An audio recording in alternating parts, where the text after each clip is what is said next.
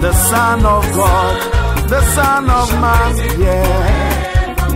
We shall hail Christ our Lord, the victorious one. There's none who can be compared. We shall praise Him forever. We shall ever ever hail Christ our Lord, the victorious one compared to him.